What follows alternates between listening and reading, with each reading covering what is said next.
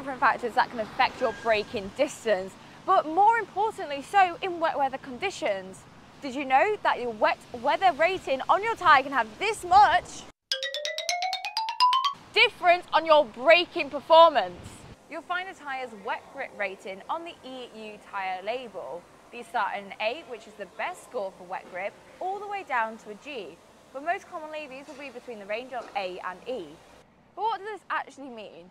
If we're driving along on a wet road, our braking distance at 50 miles an hour is going to matter depending on what the rating of the tyre is.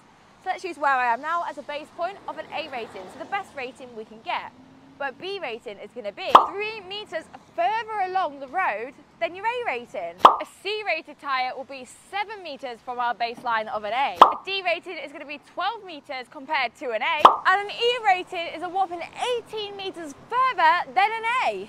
That's a massive difference. But if you're still unsure about wet grip ratings and which tyres you should be going for, head to edentyres.com or call in to your local branch.